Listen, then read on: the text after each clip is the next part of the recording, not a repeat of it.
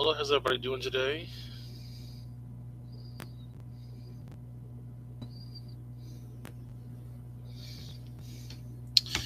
All right.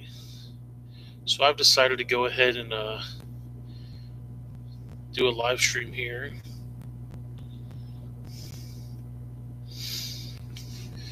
I went ahead and decided to go ahead and do a live stream here. Um, my friend David Lynn sent me a package in the mail. So um, rather than just make the video, I decided just to go ahead and go live stream. Um, it's a little dark in here. I'm in my basement. Um, I don't really have any other place to do it right now. It's a little too cold to be outside right now. So I decided just to do it in my basement. Uh, rather than make a video, I decided to do a live stream. I need to learn how to do live streams anyways, so I figured it was a good idea to go ahead and just uh, do it this way. um, I'm going to wait a couple minutes in case anybody decides to come in here, and um, you know we'll uh, we'll go from there. I'm going to wait till it says about a minute and a half, and then I'm to start the video. If you haven't done so yet, uh, make sure you subscribe to my channel, click the like button, uh, comment. You know you know how to do all those things. So, I'm to talk a little bit about me, uh, what my channel's about.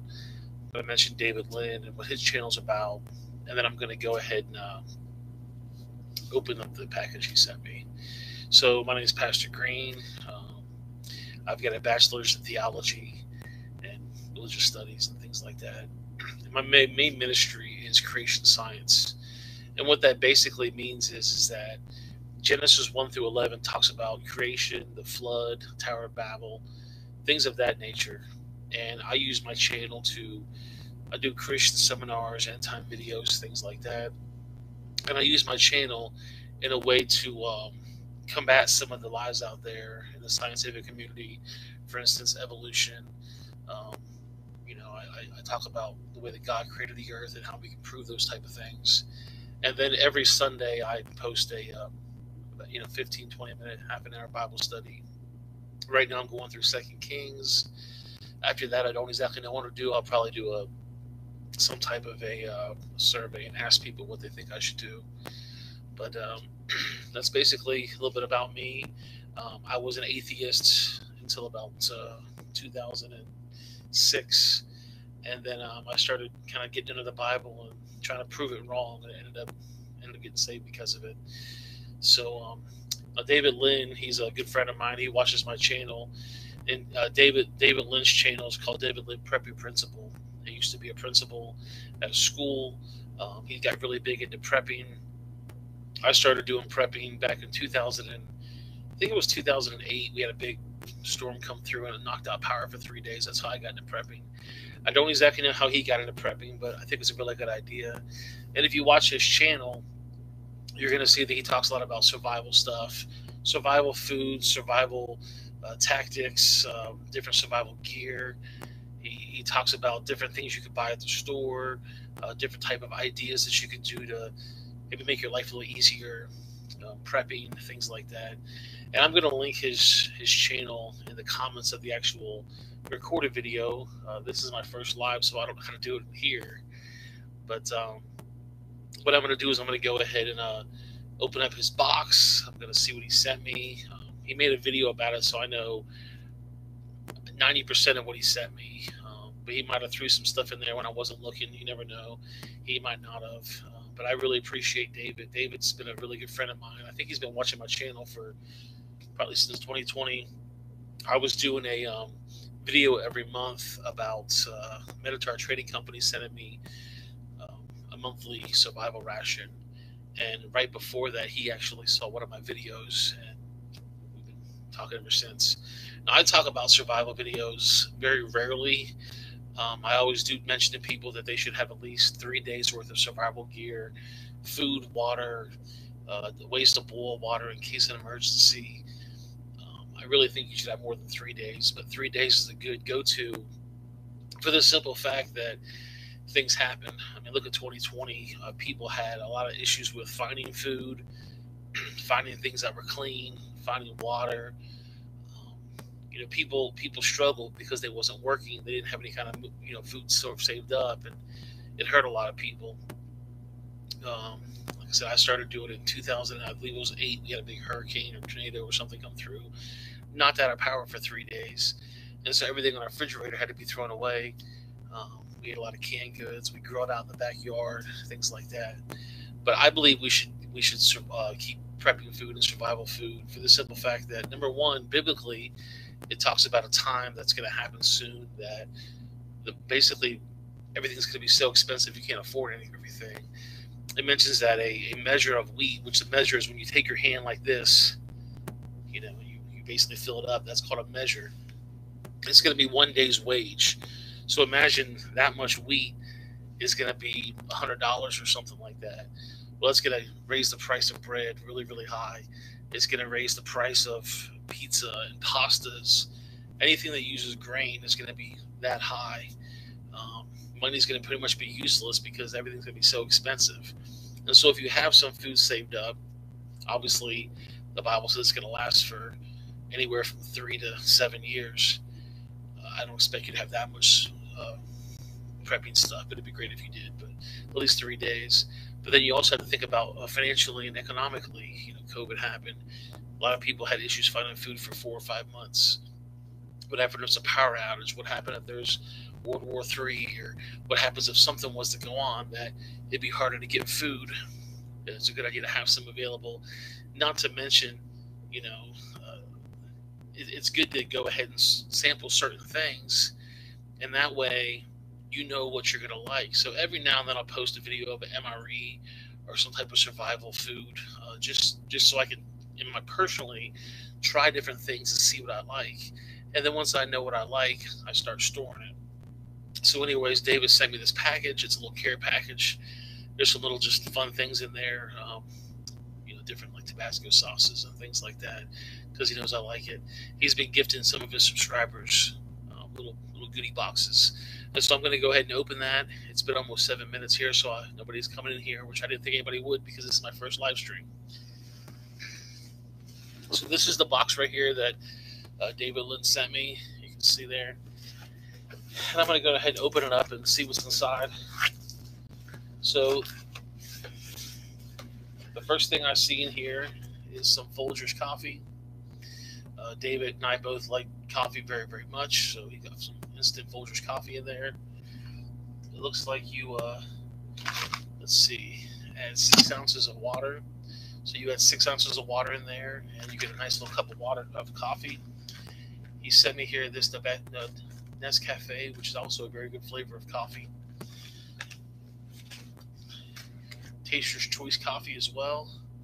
Um, hello, whoever just came in here. I don't know who it was, but how you guys doing?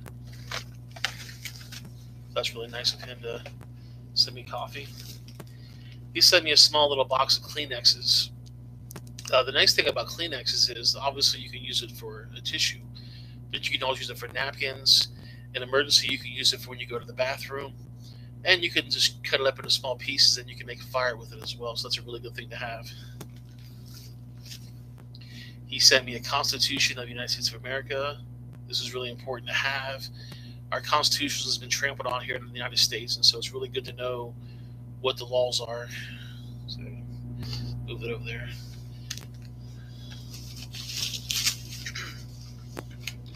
He sent me a box of Chipotle Tabasco sauce. This is the flavor I haven't had yet, so I'm really excited to try this one here. He sent me the jalapeno flavor. Jalapenos are really good flavor, especially on like pizza and nachos. Very tasty. It's actually quite mild. It's like one on a hot scale, where the chipotle is, is two on the hot scale. He sent me the classic one, which is a three on the hot scale. A lot of people say that it's really vinegary, but I really enjoy that about it. It's, I, really, I really like this a lot. I got some really cool bubble wrap to play with later.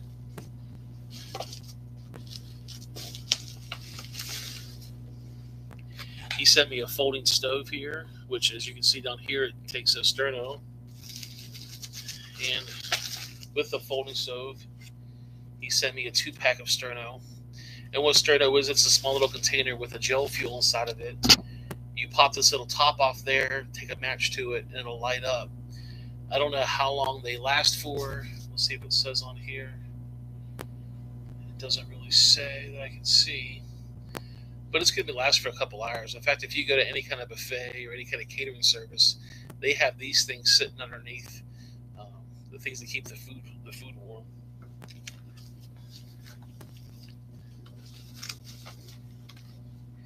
He sent me here this uh, emergency stove. This emergency stove stove uses fuel tabs. You can see down here in the bottom, it gets fuel tabs. And with that, he sent me a packet of fuel tabs as well. Again, you take these little fuel tabs, you put it in the bottom there, take a match to it, and they stay lit for a while as well. It says it'll burn, one tablet will burn for nine minutes. Nine minutes is enough time to, to boil some water for coffee or some food, things like that. And then I got a packet here of uh, Pine Mountain Stormproof matches here. Stormproof matches is great. Let's see, 25 matches. That's a great amount of matches there. And this is to help light the sterno and the fuel tabs. And of course, I've got some more bubble wrap in there to play with later. So I really appreciate this, David. It really means a lot to me that you're sending some love and support to my way. I'm definitely going to be taking advantage of the uh, Tabasco sauce and the coffees. I'll be putting the fuel tabs and the uh, sterno, little foldable, the foldable uh, stoves and things to boil water in later in my survival stuff. Um, I still have to make a video of his uh, um, reduced reduced salt MRE he sent me a couple months back. I just haven't really got a chance to do that, so I'll be doing that very soon. Um, hope the person watching is enjoying my video. I they haven't said anything, so I don't know who it is but I appreciate them coming in here and watching it. When the live stream's over, make sure you go back to the live stream video and you click like and you can comment on that as well. If you're watching the live stream right now, please comment hi, just so that way I get credit for you watching. But um, I'm going to try to make more live streams in the future and try to answer questions on biblical stuff, end times, creation, things like that that's kind of where my uh, my ministry is is is is the end times and the creation. Uh, me and David Lynn don't always argue about creation, but we can still believe in Christ as our Savior and things like that. Um, I'm going to be ending a live stream very soon because I just wanted to make a quick video uh, while I had a free chance. Again, I'm sorry I'm in my basement, but it's too cold outside right now to uh, make a video outside. But when I get a little bit more light in the summertime, I'll be making a lot more videos outside where you can actually see me a lot better. Again, I appreciate David Lynn for sending me out that uh, that nice little survival kit he sent me, the, the little bag of goodies there. And, um, you know, I, I can't thank him enough. He's been a really good supporter of mine. He's done so much stuff to just, you know, support me over the years, sending me great messages. And um, I love watching his videos as well. And like I said, I'm going to put a link to his his channel uh, once the live stream is over in the comments. That way, when people come back and watch it again, they can actually click on his link and go subscribe, subscribe, subscribe to his channel as well. Um, I appreciate you guys watching. Um, I'm going to go ahead and turn the live stream off, and I will see you guys next time. Have yourself a great day.